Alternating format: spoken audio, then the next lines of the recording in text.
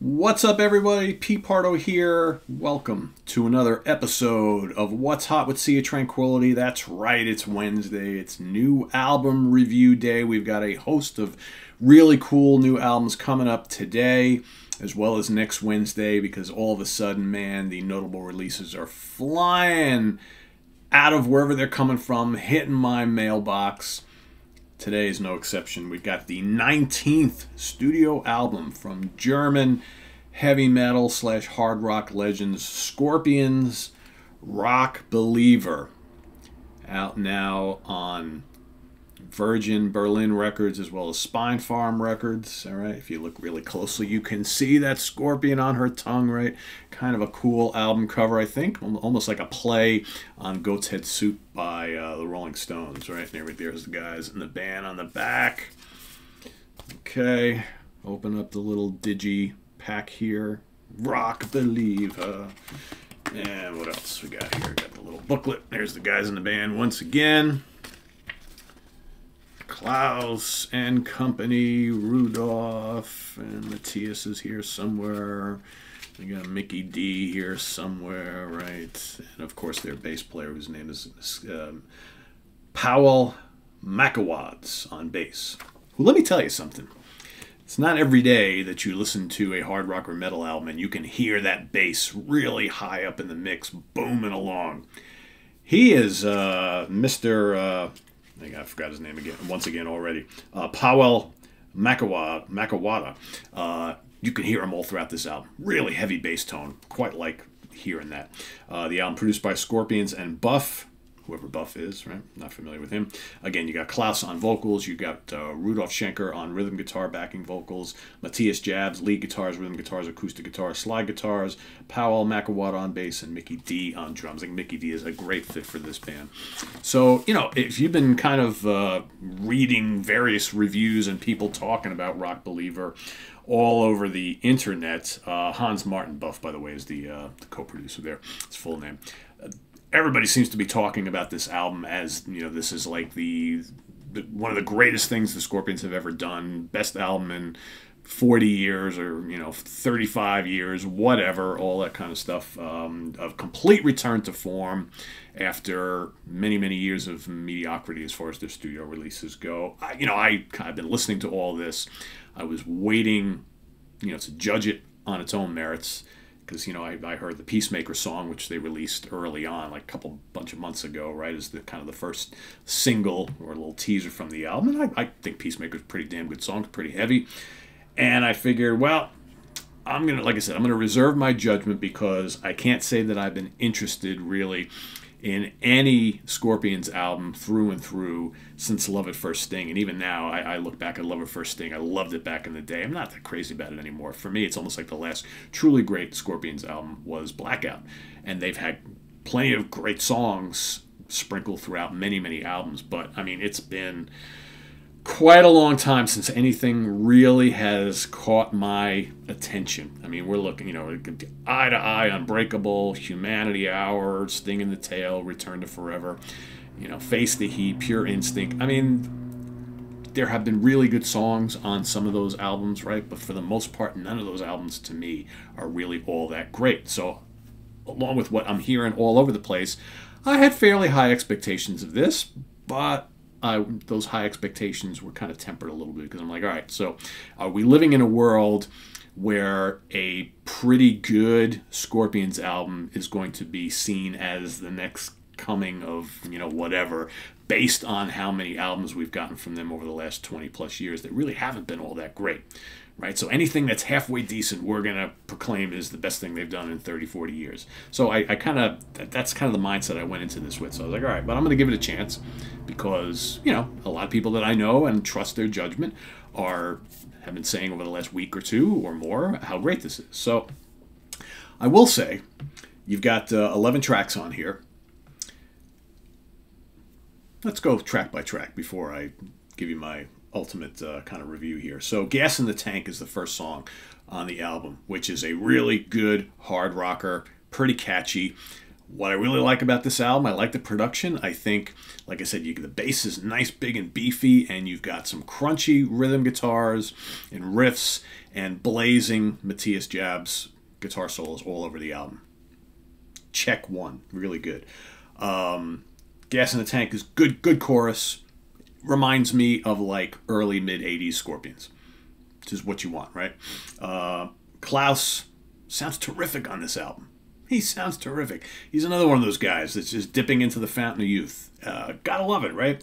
Uh, Roots in My Boots, track number two. Track number three, Knock 'em Dead. Mm, I'm not nuts about either one of those. Those are okay. They're okay. They're enjoyable enough. Kind of generic, but it's Scorpions, right? It's, it sounds like, you know, what you'd expect from these guys. Not bad. Then you got track number four, Rock Believer, uh, the title track, which is kind of moody, kind of atmospheric, kicks into high gear mid pace, mid midway through the song. Uh, good chorus, memorable song. I dig it. I like Rock Believer. Shining of Your Soul, pretty good song. Not spectacular, pretty solid. From here is where it gets really interesting. Uh, Seventh Son, track number six, absolutely terrific darker, menacing, heavy.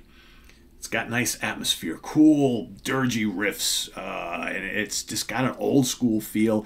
Takes me back to maybe Taken by Force or Love Drive or Animal Magnetism era Scorpions.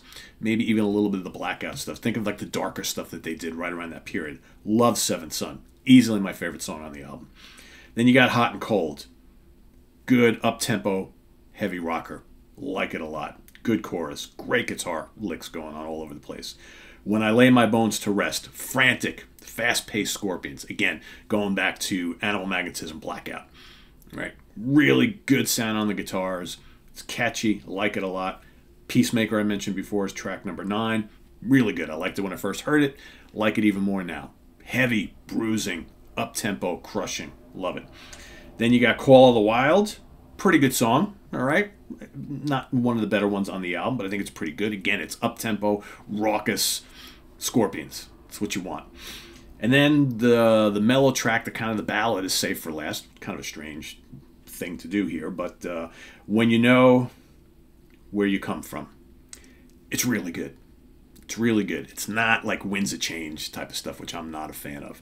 This is just good, mellow, nice little uh, acoustic textures, really nice vocals from Klaus. Got a really catchy chorus, but it's not overly syrupy. It, it just reminds me of when the Scorpions would do like ballady type stuff earlier in their career like either you know latter part of the 70s or the early 80s uh, it, it would just be this like this moody atmospheric thing but it's definitely hummable and melodic i really like it i think it's really good so overall um, you know, I'm not going to proclaim that this is the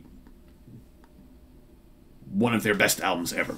Okay, I'm trying to make sure I really express myself in the words here. But is it one of the best Scorpions albums since Love at First Sting? I would say yes. Is it a five star classic? No, not in my opinion anyway. Is it a really solid three and a half or four star out of five album? Absolutely, I think so. Uh, and again, it, it, we're, we're talking, you know, only had this for a little bit over multiple listens, but it's engaging, it's heavy, it's rocking. It doesn't sound. Uh, one of the, the, issues I've had with a lot of Scorpions albums over the last 20 years is there's just, to me anyway, I know a lot of people like a lot of the stuff they've done over the last 20, 25 years there's this kind of genericness about a lot of the Scorpions material that they've released of late. Uh, I don't get that here. It's like they really tried to go out and write songs that are going to be memorable, but are going to give the fans what they desire and what they got used to from the older material, if that makes any sense at all. So there's a there's a urgency, there's a, uh, a sense of like reckless abandon, which I really like. That was what was so great about the early Scorpion stuff. It's like you never knew where they were going to go next. And they, they got kind of formulaic after a while. And yes, while there are things happening on this album that will remind you of Scorpion stuff from the past, uh, for those of you or those of us who have kind of wanted them to get back to something like that, that's I think the reason why everybody's liking this so much because it, it's like a step back to like 35, 40 years ago, Scorpions, and the songs are not just a rehash. They're actually really memorable.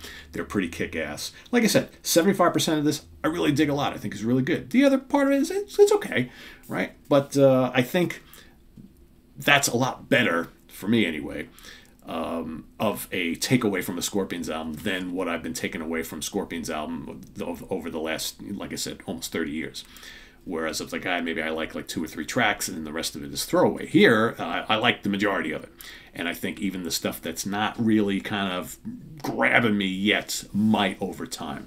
So, yeah, good album, good production, anthemic songs, heavy, lots of guitars, and Klaus sounds fantastic that's what you want, right? So uh, yeah, this late in the game, a band that was supposedly going to pack it in like what ten years ago, here they are once again delivering something uh, really memorable late in the game. Uh, you know, it, you know we're off to a good start this year when you've got you know Saxon and Scorpions both releasing you know really strong albums so many years after they first came on the scene. So uh, that's a good thing. So yeah, Rock Believer, Scorpions, I dig it. Like I said, three and a half or four out of five star dig it. It's good. If you, uh, this is probably the Scorpions album that a lot of you have been waiting for for many, many years, uh, myself included. So go and check it out. Visit us on the web at www.seatranquility.org. We're on Facebook, we're on Twitter, of course, we're here on YouTube all the damn time. More new stuff coming up today. We've got, uh, let's see, brand new Steve Vai Inviolate. We've got uh, brand new Amorphis, Halo, brand new Star one, Revel in Time. Uh, I'm not sure if we're going to be able to get to the Voivod and the Immolation, the 10, and the Tea Party, and all, I got a whole stack of new things that I'm going to be working on bringing you guys uh, either today or most certainly next week. So uh, you may have to wait till next Wednesday for a bunch of the other ones, but you will get a few of them from me today. So uh, thanks for watching. Uh, and again, if you've already heard this, let us know what you think. If you haven't, go out and listen to it, pick it up, and then report back. Let us know what you think about Scorpions Rock Believer. I am Pete Pardo. We'll see you real soon here on the channel. Take care, everybody. Bye bye.